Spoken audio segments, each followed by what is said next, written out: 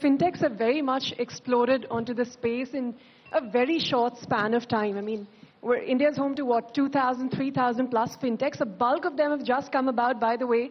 In only the last five years, we have some 33 unicorns, we have 22 unicorns and whatnot. Uh, you know, what, what I want to ask, however, is what next?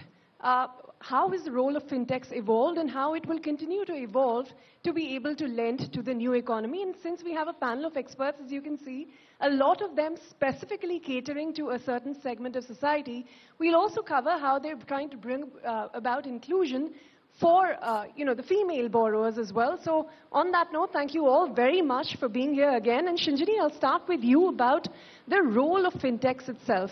You know, traditionally you had the banking model, uh, the gaps that they couldn't fill was filled by NBFCs. Uh, further down the line you had MFIs, the payment banks, and then technology encompasses everything.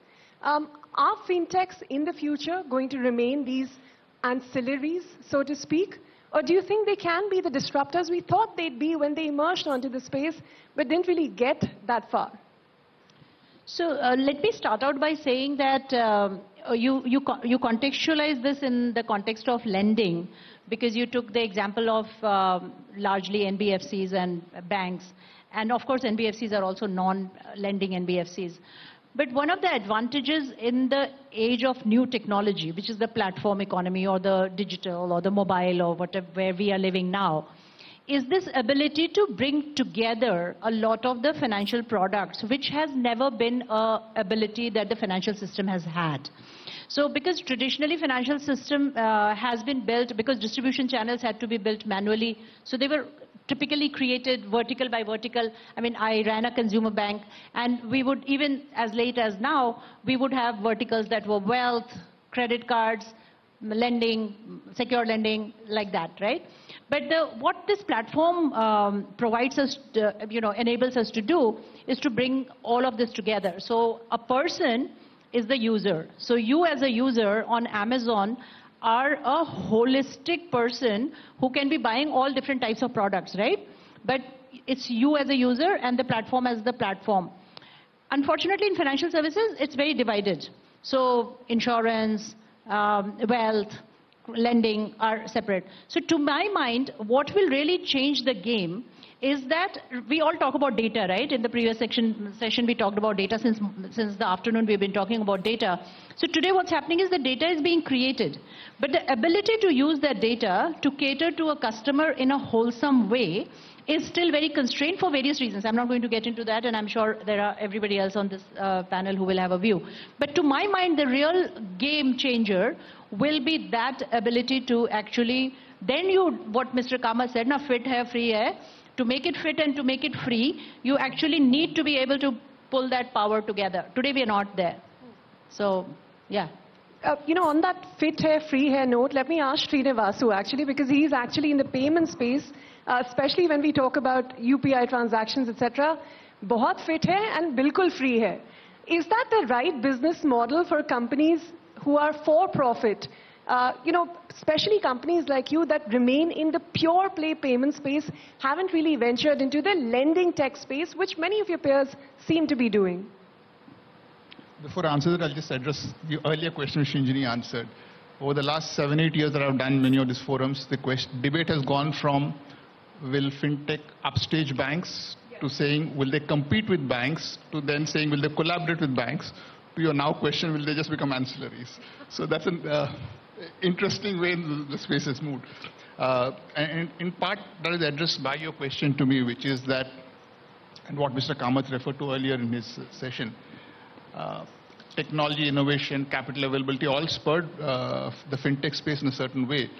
But it's end of the day a regulated space, and uh, it's a space for serious players. The entry bar was historically low, uh, which enable innovation to happen rapidly, which is why you see a number of fintechs and number of business models. So there have been definite pluses from that environment. Uh, what has also spurred that growth is, is the host of things came together, COVID, UPI, people having to transact, uh, regulatory framework, uh, government policy which, which saw vision of saying that if you make uh, the UPI is a, uh, a free payment method, digital payments will advance very rapidly. So that's kind of come true. Uh, with that said, therefore, we're all at a, a very key point that uh, payments are growing rapidly. Uh, a majority of them are mandated to be free. So where do you make money? That question still remains unanswered. I think from an industry perspective, there is, uh, there is hope that at some point, as markets or the product stabilizes, uh, revenue or factor on that can come back. But in the short run, yes, uh, fintechs are looking at other divergent ways to where they can make revenue and profits. Well, I, I, think the fintechs are quite hopeful. If you talk about hope, just look at the payment aggregator license applications. I think some 180, 200 companies have applied to be payment aggregators. Is there really space for a 201st player to now come into the ecosystem in a way to be able to grab a larger market share? Or do you think the space itself is too commoditized by now at this point of time? My views on this topic are fairly well known. I think when we talk of technology-based companies, whether it's India or anywhere in the world, there's never space for more than 10. There is a process of evolution where hundreds compete to be in the 10. It's just a question of who survives to be in the top 10. So who, who will survive? Who will be the top that, 10 in the current crop of tell. players that, that we time have? will tell. If we all had that crystal ball, the remaining 190 would never participate, right? Okay. Uh, since you're not giving us that list, so Sucharita, let me come to you. Uh, you know, uh, the point that uh, Srinivasu also raised, first we started with fintechs, uh, you know, taking over uh, some of the banking operations, and we said they'll collaborate, and now we're talking of them as ancillaries. Um, where do you stand on this uh, particular matter, and do you think there are gaps that fintechs are able to fill, which in, you know, even in the future, as banks become more and more tech first, they'll probably not be, you know, able to get into? Yeah, so um, I just want to um, build on Shinjini's point around uh, uh, just the way our financial services system is built. It's built um, like product manufacturers. So uh, in some sense, uh, customers need solutions. Uh, holistic solutions. So, for example, in India, 90% of India actually works in the informal sector which has tremendous volatility of both income as well as expenses, as much as 45, 50%. And uh, therefore, by definition, uh, you need to combine savings and credit, for example. And you probably need insurance for shocks as well. Now, for this customer who is extremely time poor, time is money, to say that, okay, now you will need to go to a bank for savings, to an NBFC for lending, and to XYZ insurance company for insurance, yes. it's simply not going to happen, and the costs of distribution are going to multiply. Fintechs have a role in bringing all of this together into making this one coherent solution. Fintechs also have they a role in inclusion. Apps. Are you referring to fintechs becoming super apps, offering all sorts of BFSI services onto yes, one platform? Uh, you know, it could be uh, in the super app format, um, uh, you know, in a supermarket sense, but finance is very different from FMCG products, right? It's not like soaps uh, that you just go and, you know, look at 10 brands and I buy, I don't know, the pink one like Barbie. Um, uh, just given given the movie's popular. Uh, so it's it's not like that, right? So you need advice. Um, uh, there is inherent advice whenever you sell a financial service because a financial service manufacturer is always making a call inherently in the sale that this product is good for you. Now, what fintechs can do is really understand the customer, what the customer needs, and bring the right set of products together. So yes, combine the products, but not like a supermarket, much more like a curator. Okay, combine the products, but not like a supermarket. Chetna, let me ask you, you know, fintechs don't have the legacy problems of traditional banks. They're empowered with a whole lot of data that they could use to make lending where perhaps traditional players cannot. Why is it that we still see, as we were talking about before, uh, you know, fintechs even today solving for the problem of that one or that 10% of the population not really going down to the last mile, uh, with a few exceptions, of course. So let me say that, uh, you know, what fintechs are not doing it, or instead of saying that, I feel very strongly that uh, on the supply side, where are we failing to listen to people? And for bringing that, I would just like to narrate that how actually the fintechs or the banks or the financial sector can learn from the people. And I would just like to narrate how Mann Deshi Bank or how, what were the learnings we had from the women. I mean, we keep on talking about the borrowings and lending to the people, and even when we talk about the financial inclusion, we talk about the lending. But sometimes you see that people, I mean, in our case, when I mean, nearly two and a half decades back, everything, everyone would think that, you know, women need, we need to lend poor women, right? But with me, it was like women came forward and they said, I don't. I mean, Kantabai, who was a street vendor, she said that I don't want loan, I want to do savings. And banks were not ready to provide that product which will allow her to save 3 rupees or 5 rupees a day. And she said, I went to different banks and banks denied opening the account because she's not an affordable client. And so then you said that, okay, if banks are not opening the account, why not start a bank for women like Kantabai who want to save 5 or 10 rupees a day? And that's how we applied for the banking license. Of course, the license was denied by Reserve Bank of India because these promoting members coming with a community capital they couldn't read and write. So the bank, RBI said that we cannot issue the license. Now the whole thing is that community is coming with the capital, not with the investors' capital. We want to save. And so then women said that, okay, we will go to Reserve Bank of India. And you know what they said? They said we cannot read and write, but we can count. Ask us to calculate the interest of any principal amount if we fail, don't issue the license. But tell your officers to do it without calculator and see who can calculate faster. Needless to say, we got the banking license. Right? But I would... But you know what I would like to say is here the lessons are that even if we don't go to school, we can manage the fintech product, we can do the digital banking, and the challenge is on the supply side that how do you make the life easier for them? That is number one. Understand their cash flow, understand their ecosystem, and provide the solutions. So I would say, Ritu, that what I have learned from the last mile population, either it is for banking or it is for fintech, the one lesson I have learned is never give poor solutions to poor people. If you do that, you are successful.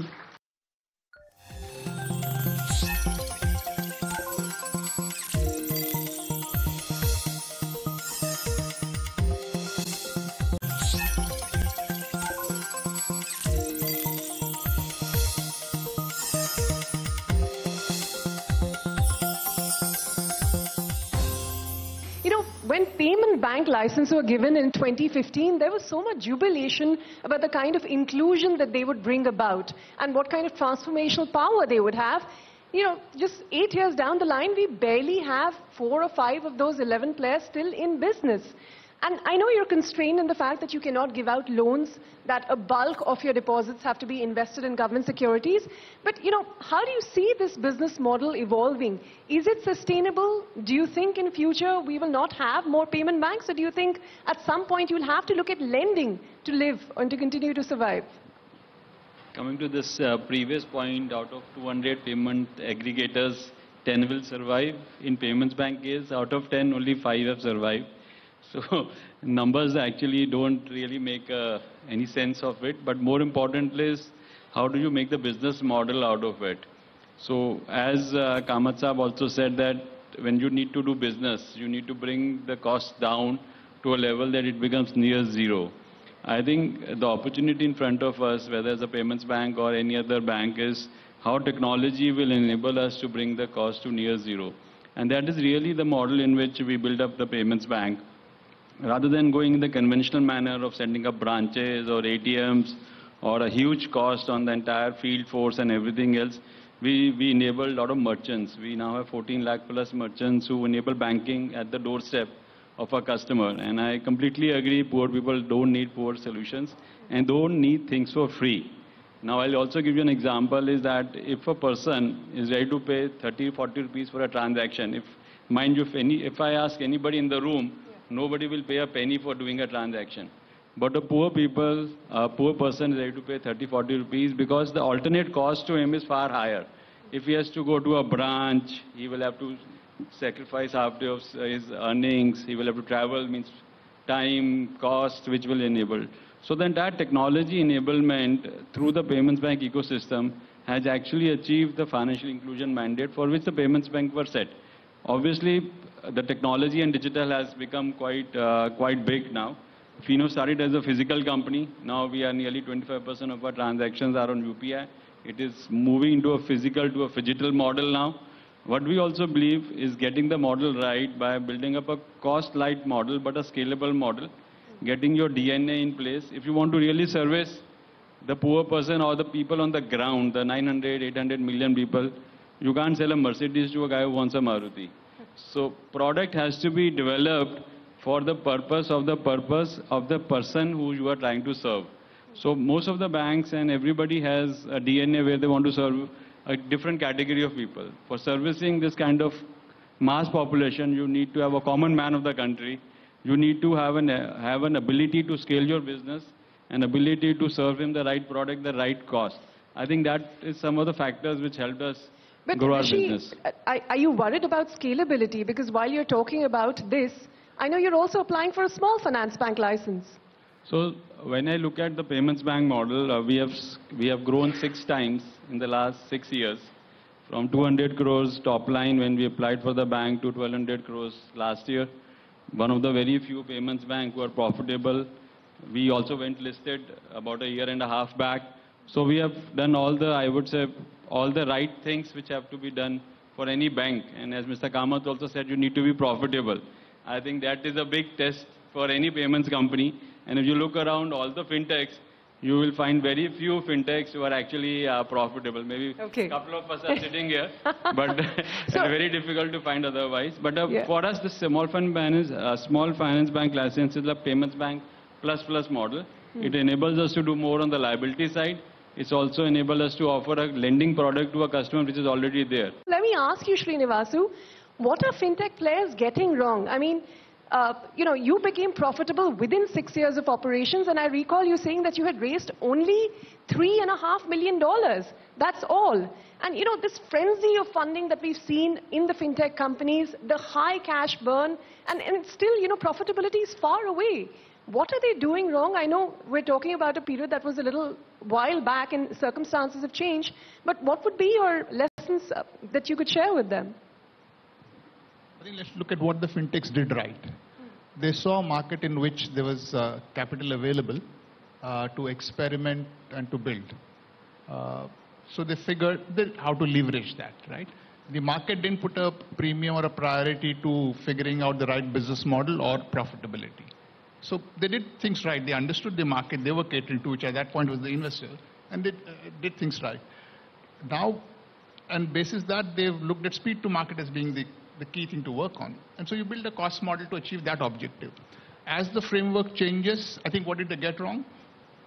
Uh, I think what, what the market as a whole uh, has gotten wrong is to believe that this would stay unregulated. Right? The moment you put a regulatory framework or you anticipate a regulatory framework, there is a way you look at business and cost that's inevitable to come. So I think that's that's the transition phase. Uh, it's come at a point when people will kind of clean up their acts to figure out how to become profitable. Okay, uh, Sucharita, let me pick up from there on the regulatory aspect of it. You know, uh, first they were unregulated. You know, it was often said that there was light touch regulation. Now with the digital lending guidelines and, you know, a series of circulars from RBI, whether it is almost killing the BNPL model and whatnot, how has life changed for you in the last couple of years? Do you think, you know, fintechs need to necessarily look at being regulated, getting an NBFC license to survive in this ecosystem? I don't think so. I, I think that both models will coexist, uh, and the digital lending guidelines with the first loss um, uh, of 5% now becoming a reality, um, uh, you know, actually now makes it possible. Uh, right, uh, for um, digital players to exist. Now, the, the 5% has many implications. It means that you need to get your underwriting right uh, because you can't put unlimited first loss. Uh, you uh, you know, and you can't buy your way uh, through a partnership. And therefore, the underwriting model really needs to be uh, correct. To go back to your previous point and to Srinivas's pre- previous point, customer unit economics have to be positive.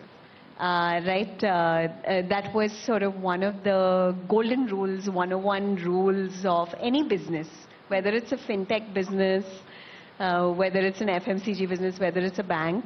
The customer at a unit level over a period of time must be profitable. Shinjini, would you say Sucharita is one of the exceptions? Because, you know, a lot of these new rules that have come in have really disrupted the business model of certain players. Some of them even went out of business.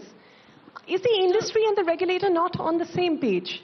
So I'll, I'll come to that later because the thought that's been playing in my mind is this, um, it is, I don't actually agree that when you, that, uh, you know, the expectation that you will start to make money uh, and only then you will be valuable is correct. Because if that's how the world was built, then the world would have never changed.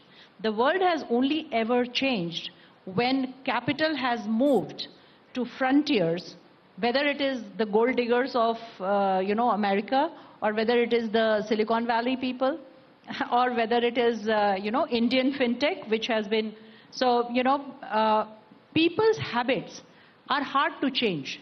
And ask me because I'm trying to build a, a fintech for women, non-men, because you know men tend to be primary customers of financial services. I'm seeing this room and I'm thinking, oh yes, good. And uh, so what happens is that you realize that for and all of you know many women in your lives, right? Now think about how hard it is for this woman to even if she understands that there are platforms available to change from that habit of simply asking you on a Saturday morning to do something because, you know, you'll not do the dishes, you'll not take the child for the thing. So you will probably be the person who can, who will be happy to talk to the investment advisor. So that's what you will do while she'll be planning the party. She'll be as educated, she went to the same college and everything. But that's how the division of labor works. Now think about that person's habit changing from doing that to now doing this, which is I will do this myself. That habit change will never happen on a unit economics logic.